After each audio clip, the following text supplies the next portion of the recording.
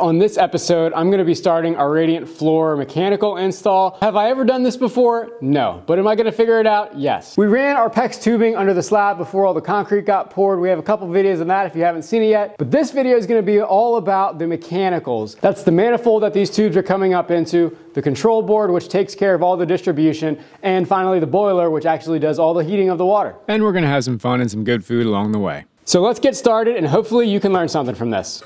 Step one, remove the 2x4 that's been screwed onto our unistrut bracket literally since when we poured our slab. I got this idea for the unistrut and pipe clamps from Instagram to hold the pipes together and I really like how that worked. Step two, good vacuum of the stud bays because once I close them up, they're never going to be seen again. Hopefully. I'm taking a page out of Mr. Post Frame, Paul Marshall's book here. All my utility room walls are going to be plywooded with half inch CDX plywood. That allows me to mount anything anywhere I need to without worrying if the stud is directly behind it, and this proved to be super valuable. If you have a keen eye for insulation, you notice we're using Rockwool R23 ComfortBatt. A lot more to come on this. It goes in really quick though. Like once we get into insulating, it's gonna be like game over. We are ready for interior finishing at that point. Mm-hmm. Come on, baby. Hello. Look what we got this morning.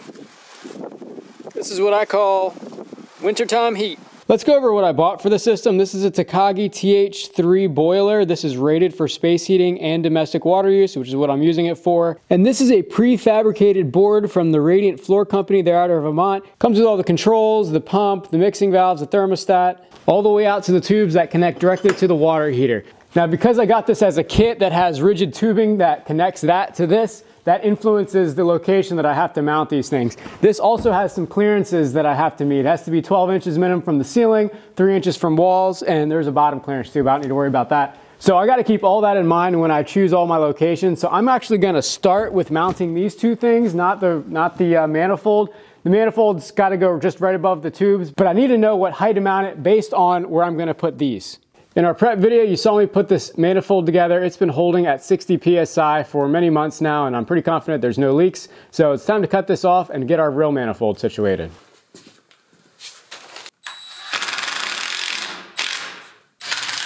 This is the tubing manifold that I got from, I think, PEXUniverse.com. I got a seven loop, even though I have six circuits. I was thinking we would use one extra for the bathroom, but I think I've changed my mind since then. So I'll be plugging one of these loops, but I'm just doing the initial assembly now to see how far these things are gonna stick out, and that will also influence where my boiler and main board gets mounted.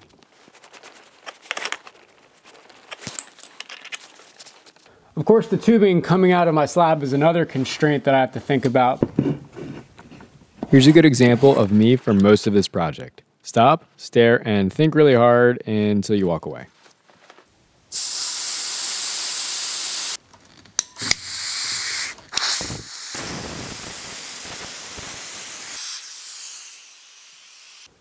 Before cutting the tube, I made sure my supply and return labels were still intact. That would not be fun to cut those off.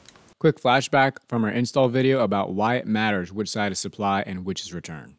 I just used some duct tape to label my runs. So they are circuits one through six. And we have supplies and returns with each circuit, hence the R's and the S's.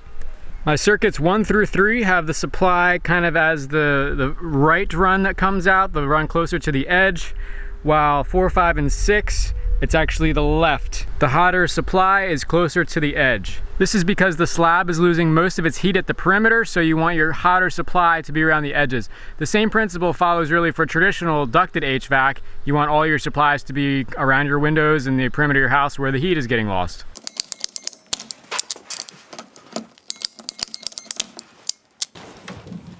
Feeding all the supplies through here because I won't be able to get them in once I have this mounted,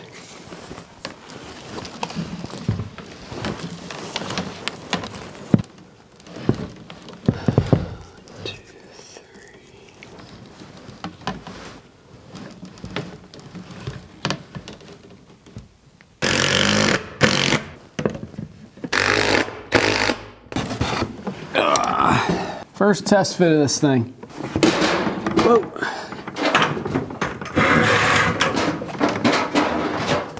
Cumbersome at best. Uh, I guess this will actually work all right. I was afraid I was gonna have to replumb these things. Oh, this thing is heavier than it looks. This thing needs to come up a few inches at the at the least.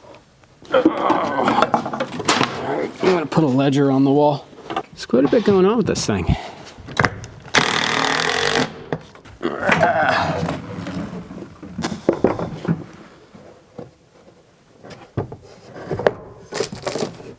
Manifolds mounted, nice and level. Put on these air bleeder valves. These are gonna be needed when we fill the system. On the other side, it comes with a shutoff valve and a temperature gauge, which is good.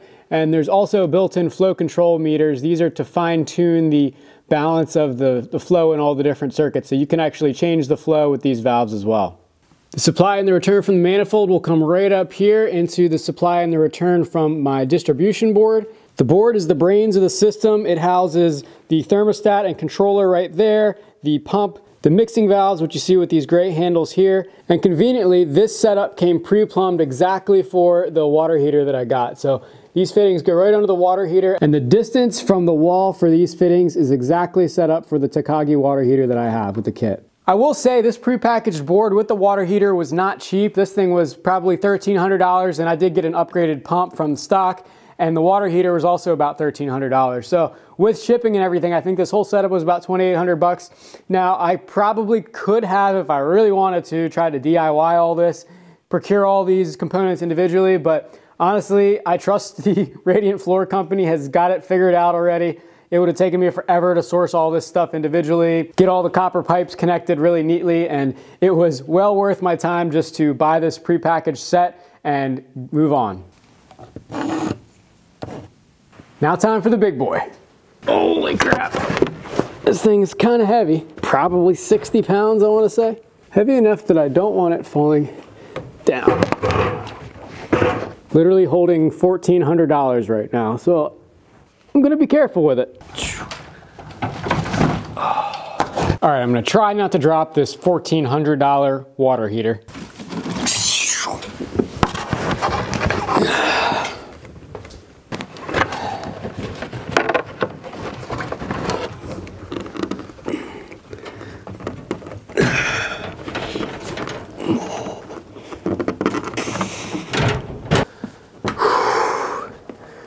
Oh my gosh, this is exhausting.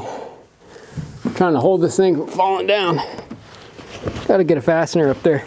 Wow, that was really heavy, but we got her there and the pipes are just about lining up, I think. Um, I'm just sort of test fitting these. Got to get some pipe dope on them before we like make the final connection. But overall, I think it's all fitting, which tells me they did a good job assembling it. I guess they must have piped these things with this flat on the table right next to them so that when it's on the wall, it all comes together just like it did on the table. Now I'm gonna go ahead and hook up all my tubes out of the slab to my manifold. It's a pretty simple process. The manifold came with compression couplers. All I gotta do is make sure I don't cut these too short, cut them to the right length, and the compression couplers just screw up in here, tighten around the hose, and I'm good to go. To mark these to length, I always put the actual fitting in so I can see how far this has got to go and the pipe actually can go up into the fitting a little bit so I keep that in mind. Then I'll push down a little bit to make sure I have some extra slack at the end of the day. Remember you can always cut more off but it's pretty tough to put more on. It's kind of like with a board. Double check that this is my supply. Yes, supply manifold. One of these PEX cutters is an essential tool for this job. Don't even try to do it with a knife. You just won't get as clean of a cut. And it's important to have a nice perpendicular clean cut so that this seats into the fitting correctly and you don't need to be fussing with it. You just got to get this started by hand and finish it off with a wrench.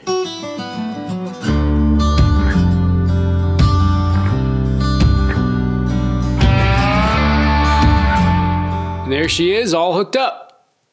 Nothing to it.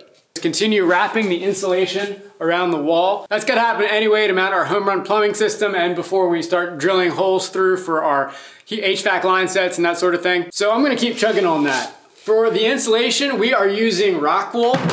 This is a mineral wool batt insulation. Really awesome stuff. It's super dense. It's R23, it's rated higher thermally than fiberglass.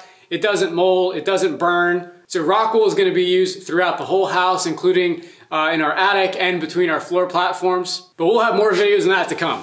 This stuff cuts really cleanly, just with a sharp serrated knife.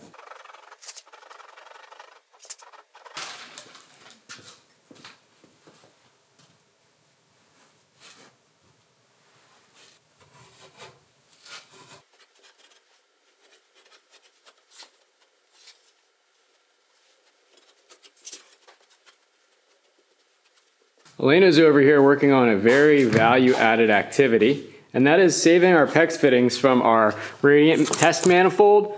These are about a dollar each, and I'm too cheap to throw them away. So he assigns me this task that's super tedious. Now Elaina can take all the clamps off and salvage them for, uh, for reuse later. This is how you build a home debt free. Gotta save all your plumbing fittings at every opportunity. Definitely splurge on the PEX cutters. I don't have a mic on. Do a mic on? Do you want a mic on? Are you gonna say something? I don't know. You had me in the frame. Okay.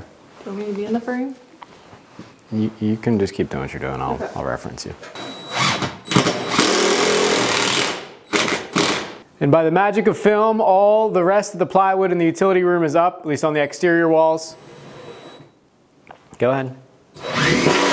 This is a pretty tedious task, insulating all this and putting the plywood up, but very necessary before we start hanging all of the equipment. Elaina's over here doing the last of the screwing on the plywood, helping me out. Thank you. The next job is to connect our water supply to our radiant tubing manifold. But there's a few things that have to go between the tank and the manifold. First is a big sediment filter. We have this in the house we live in now and I like it, so I just bought the same thing. Then the water will flow through the manifold here as our home run manifold of Viega ManaBloc. Finally, it will go through this Aquapure descaler. That's like a mini water softening cartridge, just enough to keep scale from forming on the water heater. I'm gonna mount these on the wall behind me between the well pressure tank and the corner. I've been thinking about the layout a little bit in my head, but I think a lot of it's gonna be just looking at it right here on site. I gotta stay out of the way of all the other wall penetrations we still need to make here. That's our HVAC line sets, a generator box, the power for the HVAC, our hose spigot, and an outdoor outlet. So I wanna keep clear of where we want those to pop out the back of the house. Say hi. Woo! I screwed this wall. Just kidding. Elaina screwed the wall. I'm gonna try to desolder this end cap they have on here. Check out my little makeshift heat shield. I got my rock wool, which can withstand direct flame no problem, and a little scrap of sheet metal. That is to prevent from charring our board here. Unfortunately, this piece of the board cannot be separated, unlike something like say this one, which has a union right here, and I'll just take that off to get the cap off.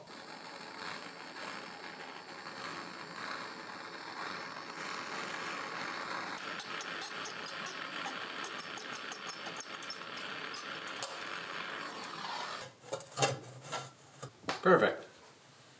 Work like a charm. For the sake of keeping this video a reasonable length, I'm going to compress some of this supply plumbing footage. I'll go through this in more detail in our water supply video where I go through the entire water system. Okay, it's midday. Before I continue with this plumbing project, we're gonna take a minor detour, see what's going on outside. Smells like a campfire out here. What you got going on here, Miss MDA? I'm making some coffee, hopefully. My mom got me a campfire coffee percolator. I'm experimenting because I'm not exactly sure how it works, but we about a month and a half ago experimented with cooking with a cast iron over coals and it worked out really well. So I figured, you know, we need coffee here when we're here. Let's go. Oh yeah, you can see see it building up the condensation. No, you'll see it. It will like look like it's bouncing. Not percolating yet, but she'll be percolating pretty soon. Fast forward, what, 10, 15 minutes, and I think we might have coffee. Yeah, it's really hot. Whoa, look at that. Firebrewed coffee. Cool. That's a pretty cool coffee shop name idea for Ooh. firebrewed coffee. Or For- fire roasted. You're onto something. I'm honestly not the biggest coffee drinker, but on special occasion, why not? What's- He'll need the caffeine. We'll be here late. What is so. the special occasion today? You, I couldn't tell you. That it's a Actually, beautiful. it's New Year's Day. Today is the first day of the year, so it is kind of a special occasion. It's a special occasion. It's a nice, beautiful day outside, it was super rainy yesterday and we got to enjoy the moment too because yep. a lot of times we're working and we're not really chilling and just relaxing here. So it's good to take five minutes and enjoy a fresh cup of coffee. Every now and then you got to remember to enjoy the process because we only got one life to live and, you know, soak it up. What's next, Miss Firemaster? Next, we have a ham in our cast iron here. I don't know if you can see it. Yummy. We got a ham. The cast iron doesn't shut quite all the way, but I think it's going to be good enough. It's going to be compressed ham when it's done. Well, it will Spam. also have, it has water in it, so it should probably shrink like most meat does. So it, we're going to put it over these coals. I just refreshed the hot coals here. We're to put it over top. Don't fall into the fire. That's key. Do not fall face first into the fire. And then I'll keep this fire going next to it so that I can continue to have fresh coals. And then last time we did this, I actually shoveled some coals on top. Um, I'll probably put some in the center, but since this isn't shutting all the way, I don't want to get it too close to the edge. And then it basically works as an oven. And so we did this with a pot roast about a month and a half ago. It turned out great. I had this ham that was defrosting in the fridge and it has to cook for a long time anyways, so we're gonna try it out. A couple hours later, what do we have here? Dinner! A ham. A ham. It smells fantastic oh my gosh, in here. It smells so good. That's legitimate. That is legitimate right there. Okay, so I think it might be, I don't know if this is already spiraled, but we're just gonna cut it. Let it rip. I think it might have got a little bit overcooked, but like, whatever. Wow. My mouth is legitimately watering. from this macro footage of a ham. Oh yeah, look at that. Whoa, it's steaming. Wow. Yummy. Brought to you in part by Kreg, Mobile Work Center. Whoa. Also good for cooking hams. Yep, cutting ham. Cutting hams. First piece didn't even last long enough to take a video of. Very what do you good. think? It's super good. Delicious. Mm-hmm. Mm-hmm. First properly cooked ham at the property. Yep. Good stuff. First of mine ever. Over the fire, too. Check out my DIY pipe support block. It's just a couple of screws through the back of plywood into a precision cut piece of lumber, which when it's all stacked up is the same distance of this pipe from the wall. And then I'll be able to put a pipe anchor strap right over top of this. They make these metal pipe standoffs to do this job, but honestly, I think this wood block method is more sturdy and it's free. Ta-da! Here is my descaler cartridge all mounted up. Now the last step is just a little bit of copper to connect these two pipes. So I'm going to actually use a SharkBite here. I know I'm probably gonna get some flack from plumbers there, but it's a really easy way to connect pipes of two different materials. And then I'm gonna attempt my first ever sweat fitting on this elbow right here. I've never sweated or soldered a copper fitting before, but I've watched a couple YouTube videos and I think that makes me an expert. Good easy tool for cutting copper. Tighten it every revolution or so and that little wheel just slices right through it. Bing.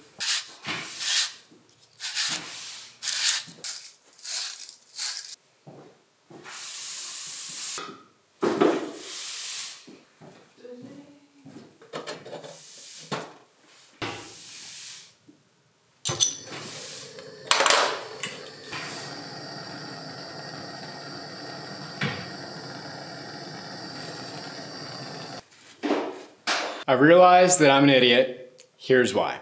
I mounted the board just slightly too close to where this manifold is gonna go. I gotta, I'm gonna have a reducer bushing that goes in there, but I can't make this turn with an elbow with as close as this is. I think this whole board's gotta shift over about an inch and a half. Okay, I thought about it for a hot sec. I'm gonna hold off on that for now. I might be able to get it to work where it's at. I'm waiting on a single bushing that adapts to that valve there to copper. When I put the laser up there, I saw that it might work out if I'm careful. So I'm gonna hold off on that and just keep working on the CPVC plumbing and do what I can until I figure out whether or not that actually has to be moved. I owe the inventor of the street elbow a big one after this because they saved me. A street elbow can fit into a normal fitting, and that allowed me to make the bend as tightly as I possibly could to make it work for my situation. That's 16 soldered copper joints, and if none of those leak when I put water to these, it will be an absolute Christmas miracle.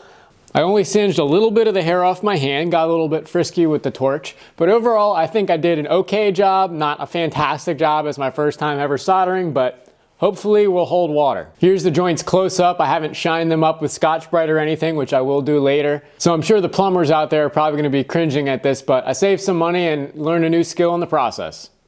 The next step is to get this gas pipe up in that narrow joist bay above me. Then I gotta use three inch solid core PVC, not foam core, to snake down and into the top uh, intake and exhaust vents of this water heater. This is a concentric vent. You can hold off on the dirty jokes, please, but this allows a single wall penetration for both the intake and exhaust of the water heater. It's called concentric because there's an inner pipe and an outer pipe, with the inner being the exhaust and the outer being the intake. The exhaust shoots straight out the back. You can see right through it, and then the intake comes in behind this and through the outer pipe. I've got literally the largest bit in my Spyder hole saw set, four and a half inches, and I'm gonna be going up through the rim board in that narrow joist opening. I'll start the hole from the inside and finish it going from outside in. Drill's dead. That's a good looking hole.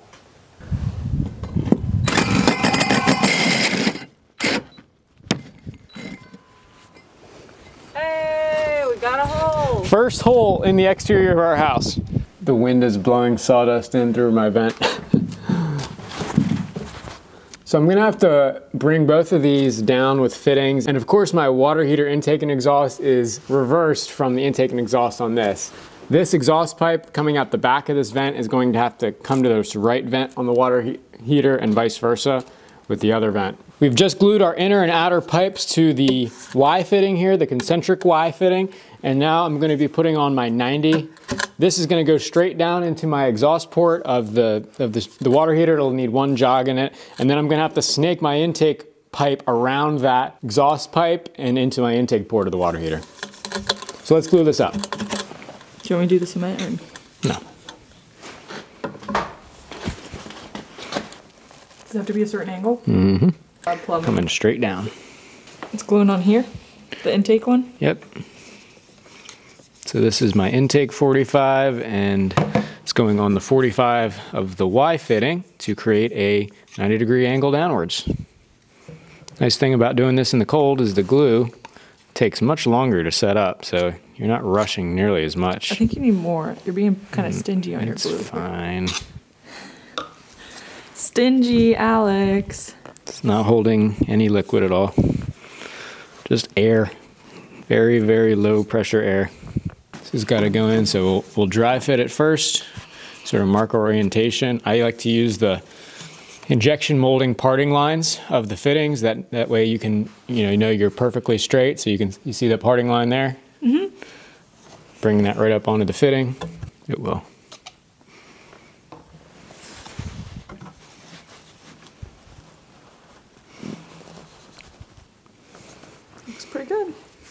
Okay. All right, I dropped the ball on filming the rest of this because I just wanted to get it done. But you can see my setup here. My concentric vent is tucked up here in the joist bay. I have that firmly fastened with a uh, two by four in between the joist and a piece of pipe strap. I set the position of that vent in the wall so that my 90 off the end of it could come straight down into my exhaust. And then the intake, I figured I would just work around that. So the intake also comes straight down. Notice I have these Fernco adapters here. They're just rubber couplings that allow me, if I ever need to replace this boiler, I can easily disconnect this. And then I basically just use two 90s and a 45 to get around my exhaust pipe and down into the intake vent of the boiler. Now that we're locked in on the inside with some straps, I made some marks here where our siding is going to go to, where the end of the cone needs to go to. It's got to be between one and two inches from the end, the edge of the wall, and then where our current cone ends. So the distance between this and the current cone and where I want it to end is an inch and a half. So I'm going to cut off an inch and a half from each one of these pipes. My oscillating multi-tool made short work of cutting these pipes to length, and then I used Zip Liquid Flash to seal that outer pipe to my sheathing. Before fastening the cap on permanently, I have to put a bird screen in and put my flashed siding block on. Water supply is all hooked up, everything's soldered. I have all my unions and stuff glued in. Let's talk pressure testing. I built this little rig here with a pressure gauge, an air tire inflator, and a T-fitting to hook into my PEX system. All I did was put it right into one of these compression fittings, my extra one that I'm not gonna use anyway. And I should be able to pressurize the whole system because the hot and cold actually connect on this board and it'll go all the way out to my PEX home run manifold that's up behind me. I'm just gonna do 60 PSI of air. That's the max working pressure in my system because of the well pressure tank switch cutoff. I know on CPVC pipe, the glue says do not test with air, so I figure I shouldn't test my luck with that in case there's a blowout or anything. But I'm just praying that all my solder joints hold, so we'll see.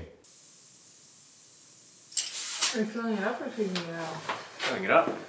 The main culprit of my pressure test was actually these copper unions. Both of these were leaking pretty substantially. So I used my blue pipe dope here, Blue Monster, and that actually was able to seal up the unions quite well. I was really surprised. The second culprit was these compression fittings, and that just needed no more than a turn or two to seal these off. I did have a really small, slow leak that I could hear actually coming out of the valves on this Viega ManaBloc but it was like a trickle of air. So of course I couldn't hold air overnight, but I'm pretty confident my radiant system is not going to be leaking water when I go to pressurize it.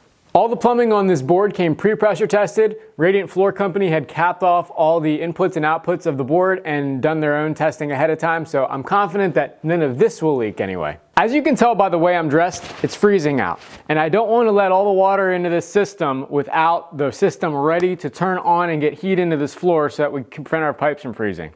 It's tough enough to keep just our well pressure tank warm enough to not freeze. We have this thing wrapped up with heat tape and I have a plastic sheet over it. And that is stressful enough to worry about that thing freezing. So I definitely don't want to worry about this whole control board freezing and getting run. So we've got our water supply, we've got our venting. The next step for hooking up our boiler is gas. That's this yellow flexible connector hose here. I bought this whole setup with the drip leg and the ball valve all together in one kit. It was a little bit expensive, but it makes the setup look really professional. And this flexible pipe is going to go into what I'm going to be basically fabricating, which is a rigid manifold. This contraption is gonna have a pipe that sticks through our exterior wall and will connect to our line outside coming from the propane tank.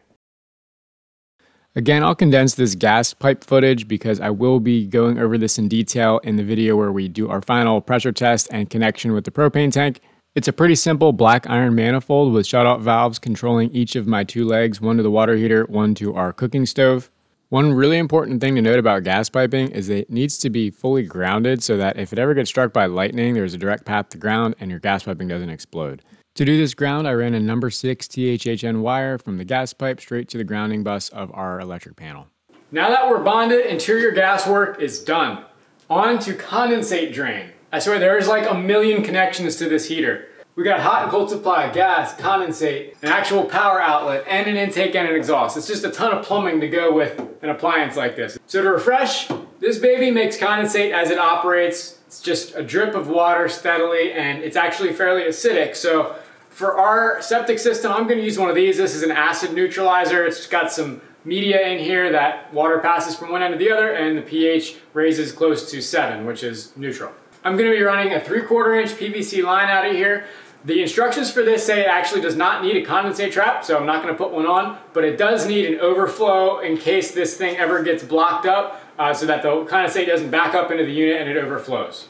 This condensate drain will be shared by my indoor air handler unit for our ducted system and for the ductless mini splits that we're putting in the garage. So starting around here, my indoor air handler will sit. I have to run a pipe at a quarter inch per slope down all the way over here, pick up my condensate neutralizer where the tankless is, and then run it all the way around the other rest of the room to that floor drain right there. We'll have another Y so the mini splits can pick up somewhere around here and then there will be a pipe sticking out just over that floor drain with a two inch air gap.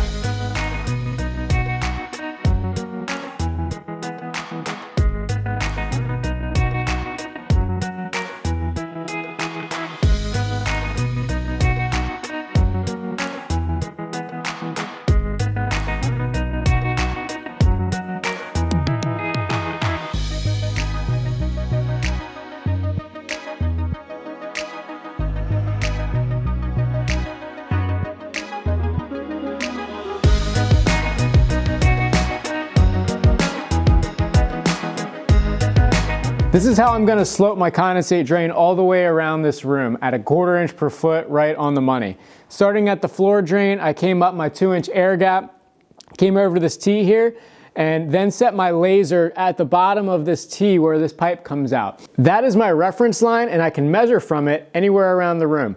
So what I did was measure to the corner here behind me. There's five feet until the corner and I know my pipe's gonna have to come up a quarter inch per foot. So that's five quarters or one and a quarter inch. So all I had to do was measure up from my red laser line an inch and a quarter and drive a screw in there. My pipe can then sit on top of that screw for a dry fitment. And then it's just rinse and repeat all the way around the room. And as I go along fastening, just as a sanity check, I'll stick the bubble level on there. Not super easy to see, but the edge of that bubble, the left edge is on my quarter inch per foot line, right on the money. Okay, so I got my conduit finally done here. It's fastened to the wall. I did just let it run wild that way because my furnace air handler and my mini split is gonna have to tie into that over there. So this is gonna be good enough for just the boiler. And I do have one last final piece I gotta put on, if I can find it. Oh, I'm gonna put these little clean out caps on my openings here. That way I can just blow compressed air down there if this ever gets gummed up with algae. Sometimes condensate lines can do that because the water is moving so slowly in them. I put one up here too, probably unnecessary, but I did it, so why not?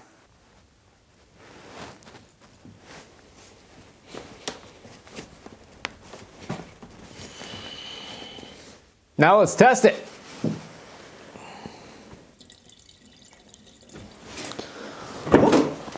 Check our floor drain. Any water coming out? Hey, look at that. We'll take it. We'll take it.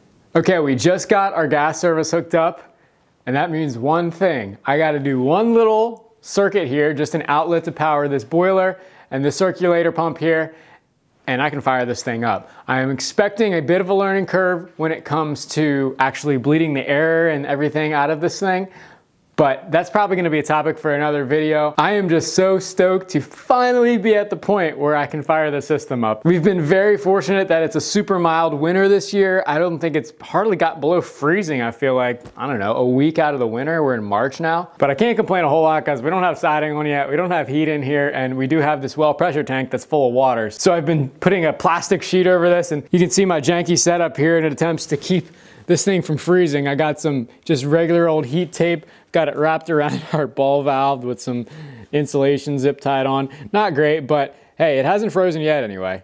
Anyways, I'm gonna try to make short work of this circuit. I gotta put another breaker in here, probably just a 20 ampere, and run a 12-2 wire, basically following where this green wire is, except I'm gonna put an outlet right over there next to that board, and then I will continue that circuit all the way around here. I'm gonna put another outlet for that septic alarm box over there.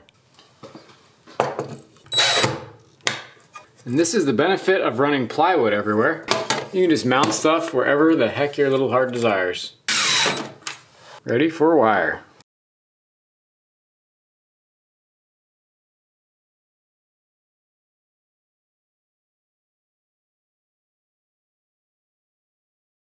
And just like that, our circuit is roughed in. I don't ever pretend to be an electrician or a tradesman of any sort really. I'm a definite DIYer, but I do try to mimic the trades and try to do as best as I possibly can with neatness and workmanship. That way when the inspector shows up, it actually looks like a real tradesman did it and not a DIYer. But I'm curious, if there's any tradesman watching this right now, if you're an electrician or a plumber, please critique my work. Like, like for example, does this look like a plumber did this or does this look like a DIYer did it?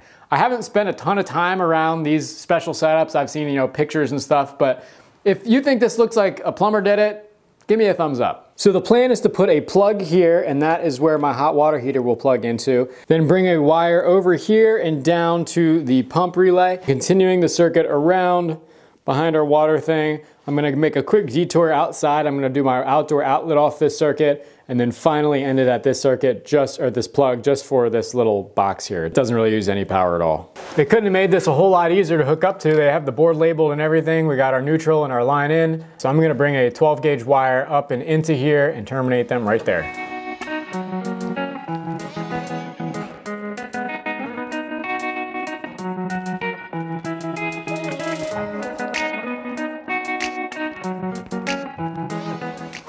All right, fast forward a bit. Got my GFCI outlet in here. You can see I got the power turn on. There's a little green LED here. It tells me it's looking good. Test it. Ah, geez, reset. Should be good to go. I wired this so that the line coming in here goes into the top terminals of the GFCI. And then the load, I actually, since I have these two of these Romex wires coming in, one for this, one to continue on. There's actually a, a, way to connect two wires into the back of these GFCI outlets. They provide a cable clamp and that way you can do away with actually having to do a pigtail, which just crowds the box even more. The only pigtail I had to put in was for the grounding of this box. The metal boxes have to be grounded. So I did have a short pigtail with a wire cap linking all the grounds together. Anyway, I can plug this baby in now, finally.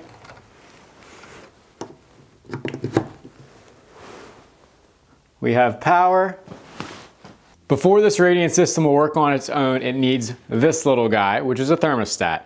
This is just a simple non-programmable non thermostat. It came with the kit and it should be pretty easy to install. There's six terminals, a hot and a neutral to power it, that's two terminals for the sensor wire that I'm gonna tape to the floor, and then two control wires that will go back to the switching relay. Now I thought about installing this right next to my panel here and just taping the sensor to the floor here, but this is right at the edge of my slab and the tubing is not really kind of in the normal grid pattern that it usually is at this point.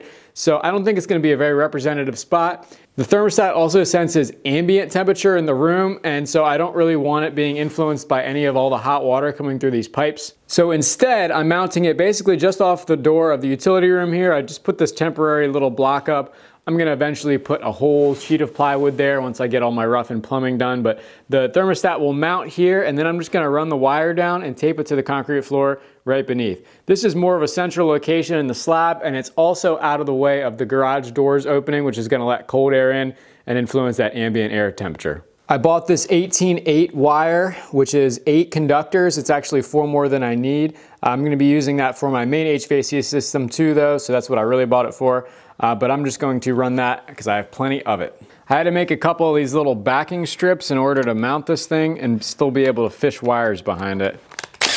Ow. Ow.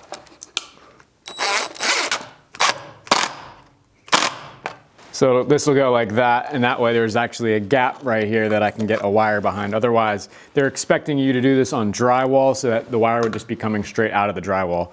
Not the case in my case. Have to be right about there. Oh my gosh, you'd think I'd learned my lesson.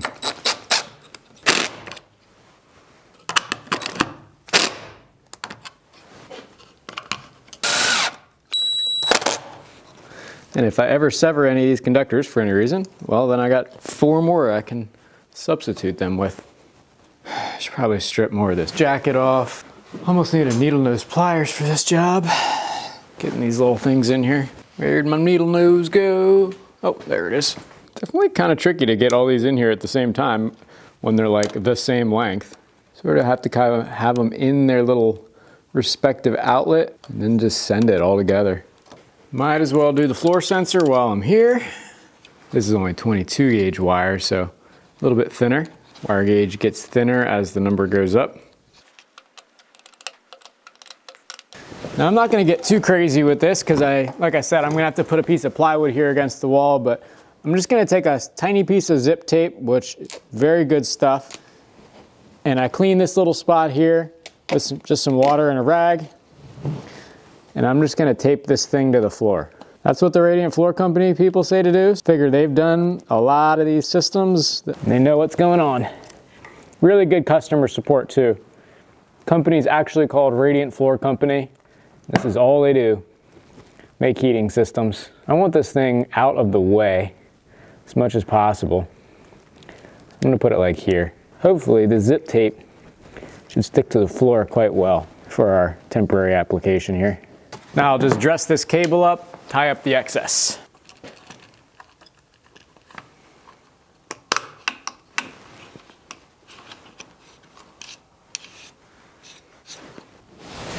I swear, by the time this project's done, I'll have run a mile of wire. There are just so many wires that go into a house. Thermostat wires, regular wires, ethernet wires, you just, you name it, there's a wire for it. Got these wire strippers from Harbor Freight and they are the bomb. One squeeze and this little tiny wire is stripped. Just like that.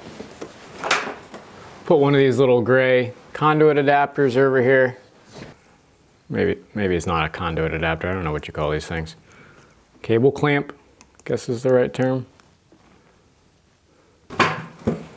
Probably should hook these up before I put that in. Thermostat wire is officially run. I think we are finally ready to put water into the system, bleed the air out of it, cross our fingers, and fire it up.